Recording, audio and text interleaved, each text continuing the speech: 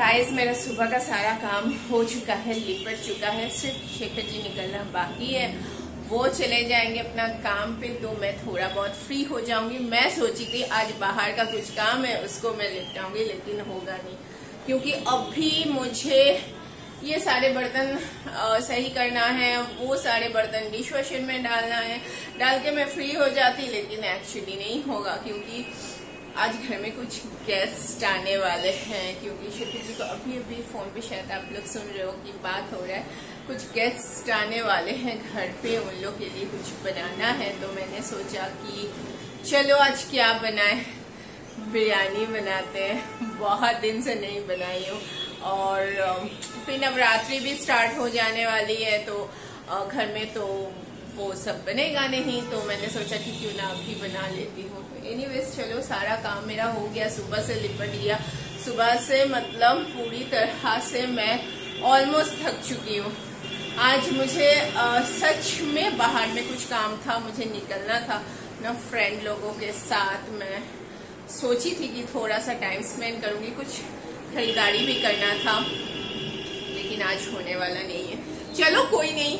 मैं अभी चलूँ किचन के तरफ़, क्योंकि ब्रेकफास्ट वगैरह बनाने के बाद में मैं थोड़ा सा रेस्ट भी कर ली हूँ तो कपड़े बाद में तय बना लूँगी। फ़िलहाल मैं किचन में आऊँ, थोड़ा सा मैं बिरयानी का प्रिपरेशन करूँ। अभी से नहीं करूँगी तो फिर होगा भी नहीं क्योंकि बारह बजे तक मुझे माई को स्कूल से लाने जाना है।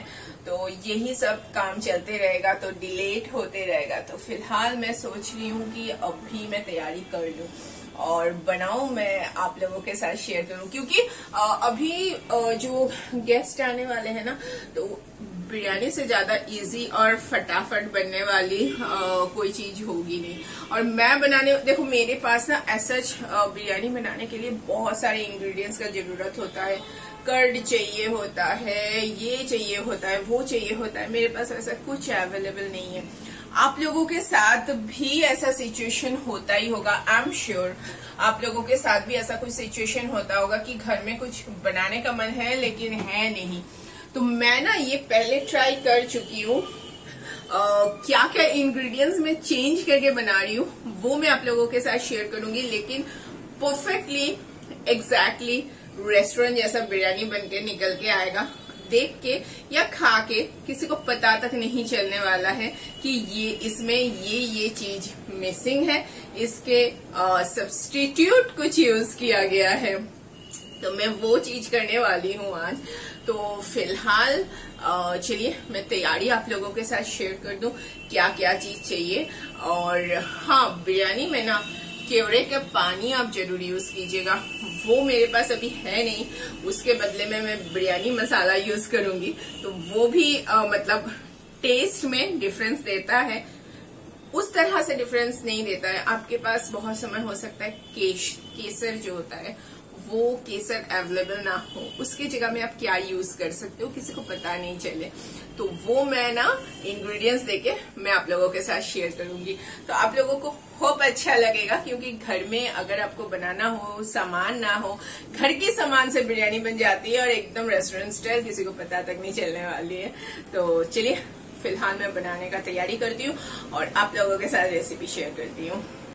मैंने यहाँ पे सारा सामान का तैयारी कर लिया है और यहाँ पे ऑनियन में कट करके रखी हूँ जूलियंस में रफली और आलू भी कट कर लिया है और यहाँ पे एक किलो के आसपास चिकन है और चावल मैंने भिगो के रख दिया, एक घंटे के लगभग आसपास हो गया है। ये लॉन्ग ग्रेन बासमती राइस है तो यही वाला बिरयानी का चावल के लिए आप लोग यूज़ कर सकते हैं। तो बस लॉन्ग ग्रेन बिरयानी का जो चावल आता है वही मैंने एक घंटा पहले ऐसे ही पानी में भिगो के छोड़ दिया था। तो देखिए कितना फूल गया है चावल।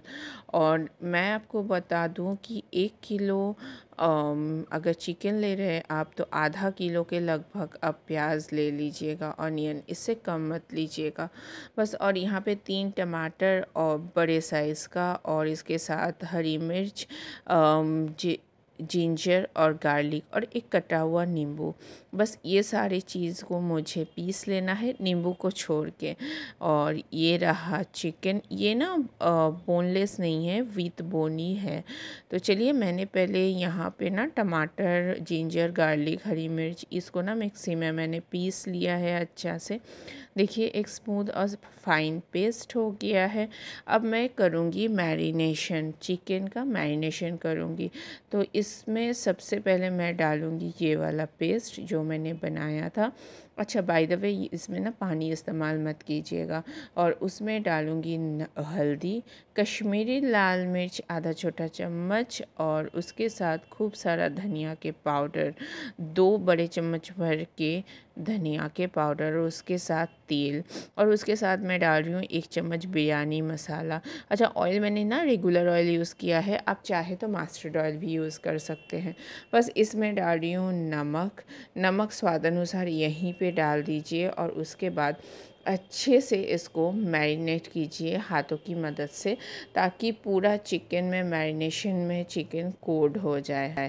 और चिकन मैरिनेट होने के बाद इसको कम से कम आधा घंटा से 45 मिनट तक रेस्ट करने के लिए छोड़ना पड़ता है। तो आप अगर इसे ज़्यादा टाइम रेस्ट करना, कराना चाहते हो चिकन को तो इसको आप फ्रिज में सेट कर सकते हो। तो बस चलिए मैरिनेशन मेरा कंप्लीट हो गया है। अब ढक्कन लगा के इसको 30 मिनट तक हम छोड़ देंगे। मीन मैंने बिरिस्ता का तैयारी करना है यहाँ पर तो कढ़ाई ले लिया है। कढ़ाई में ऑयल में ले चुकी हूँ। ऑयल ना दो बड़े चम्मच चम्मच मैंने ऑयल लिया, भर के जो होता है, दो बड़े चम्मच ऑयल लिया है। ऑयल थोड़ा सा गर्म हो जाए, बस उसमें प्याज सारे डाल देना है, क्योंकि हम लोग बिरिस्ता का तैयारी कर रहे हैं। तो चलिए, यहाँ पे प्याज को अच्छे से भून लेना है और ताकि ये अच्छे से भून जाए, इसका कलर भी चेंज हो जाए। तो प्याज को एक दूसरे से खोलते हुए इसको भून लेंगे।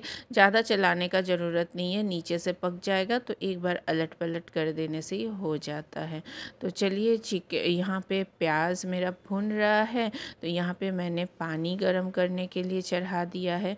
पानी थोड़ा सा मेरा गर्म हो चुका है यहाँ पे, हो रहा है और यहाँ पे बेरिस्ता तैयार मेरा हो गया है। ये देखिए कितना अच्छा कलर आ गया है। बस यही हमको चाहिए था। मैं सामने से थोड़ा आप लोगों को दिखा रही हूँ। इसी को बोलता है, भुना हुआ जो ऑनियन होता है ना, इसी को बेरिस्ता बोला जाता है। और ये बिरयानी में एक मस्ट इंग्रेडिएंट है। इसके बिना तो बिरयानी अधूरा है। बस इसका जितना ऑयल है, इसको मैं ऑयल से सेपरेट कर लूँगी ऑनियंस को और साइड कर दूँगी, ताकि जितना ऑयल है ऑनियन में सारे निकल जाए। और ये ऑयल हमको फेंकना नहीं है, इसको बाद में यूज़ करना है। बस इसको मैं अलग एक बॉल में निकाल डाल लूँगी जितना ऑयल है ऑयल को कोशिश करना है कि साइड में ऑयल निकल जाए। बस प्याज यहाँ पे मैंने निकाल लिया है, बिरिस्ता हम लोग का रेडी हो गया। अब जो ये ऑयल है ना, जो निकला है, इसको हम रख देंगे, बाद में इसको हम लोग यूज़ करेंगे। तो बस चलिए, यहाँ पे चिकन भी मैरिनेट हो गया है। लगभग आधे घंटे के ऊपर इसमें मैं थोड़ा सा प्याज जो है, थोड़ा सा मैं डालूँगी। इसमें पूरा नहीं, बाकी बचा लेंगे बिरयानी के लिए। और बस यहाँ पे जो आलू मैंने कट करके रखा था ना तो आलू इसमें मिला देंगे। ये ऑप्शनल है कम्प्लीटली ऑप्शनल है। आप चाहे तो पोटैटो ना मिलाए, लेकिन हम लोग डालते हैं बिरयानी में, कोलकाता में बिरयानी में आलू तो डलता ही है जी। बस आलू को थोड़ा सा मैरिनेट कर लेंगे, अच्छे से पोटैटो को, ताकि पूरा मैरिनेशन में पोटैटो कोड हो जाए। बस उतना तक ही मैरिनेशन करना है, ज़्यादा कुछ नहीं करना है। बस इसको और छोड़ना नहीं है, इसको ढक्कन लगा के छोड़ देंगे हम 10-15 मिनट के लिए। और यहाँ पे मेरा पानी ऑलरेडी खोल गया है मतलब बॉयल आ गया है।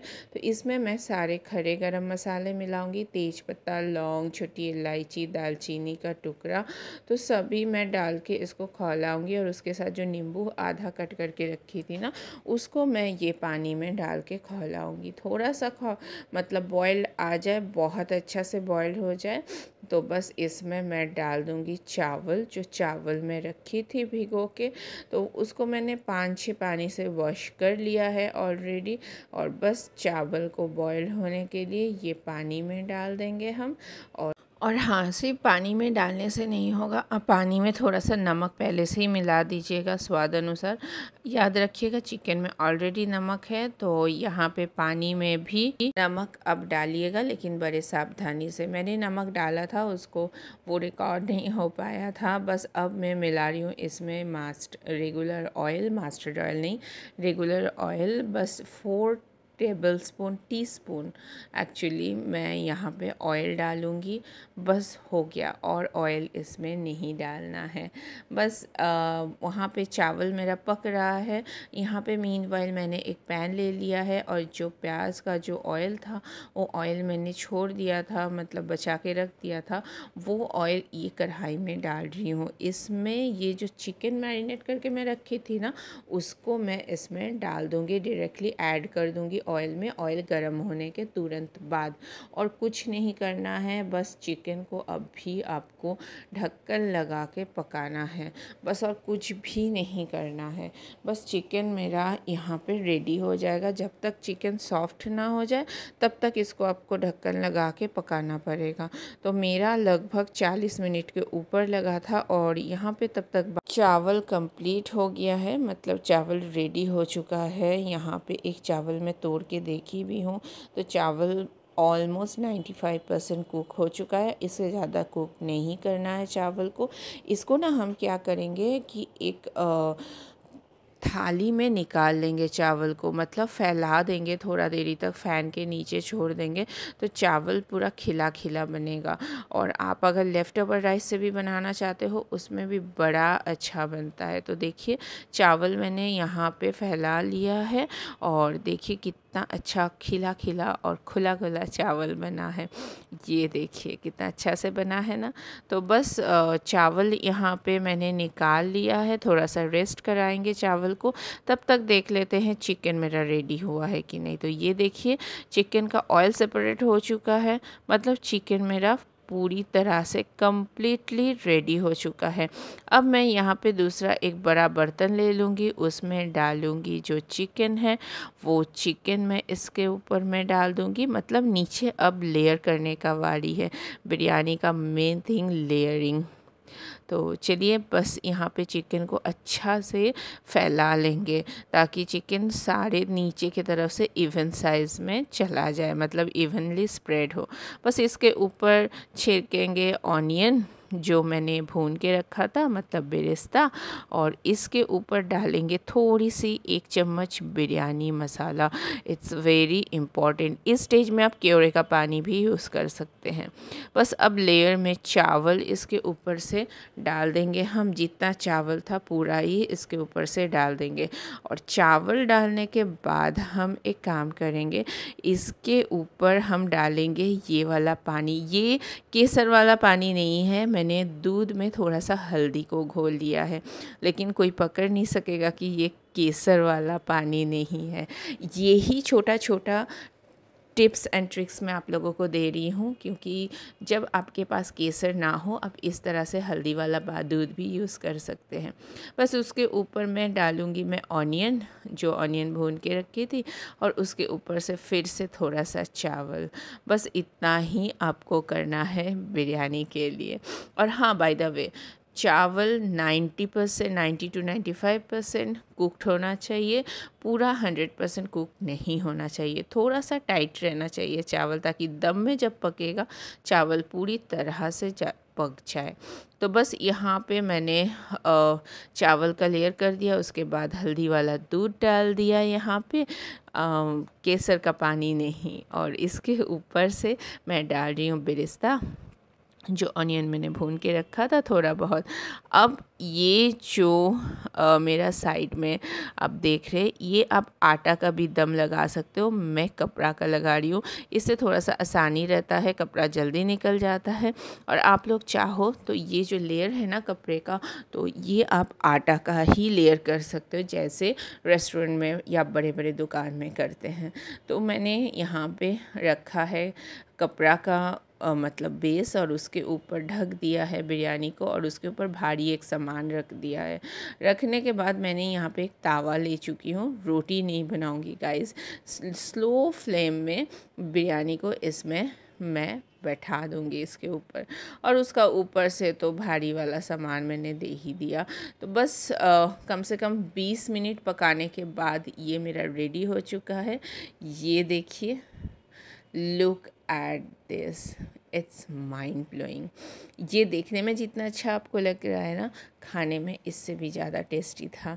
तो ये देखिए, मैं अंदर से निकाल रही हूँ, पूरा बना है ना रेस्टोरेंट जैसा बिरयानी, जैसे हम लोग रेस्टोरेंट में जाते हैं, जिस तरह का बिरयानी देते हैं, वैसा ही ये बना था देखने में भी और स्वाद में भी। बड़ा यमी बना था और इसके साथ चलिए। ये तो रेडी हो गया, इसको मैं प्लेटिंग कर लेती हूँ अच्छे से। तो चलिए, ये प्लेटिंग मेरा हो चुका है। ये मस्ट ट्राई रेसिपी है। आप लोग घर में इस तरह से ट्राई कीजिए। छोटे छोटे चीज़ों को चेंज करके मतलब टिप्स एंड ट्रिक्स फॉलो करके ज़रूर आप ट्राई कीजिएगा। गाइस जस्ट नाउ मैं लंच बना के आई हूँ और बहुत गर्मी लग रहा है तो प्लीज़ अवॉइड करो। फ़ैन का फ़ैन चल रहा है हाँ।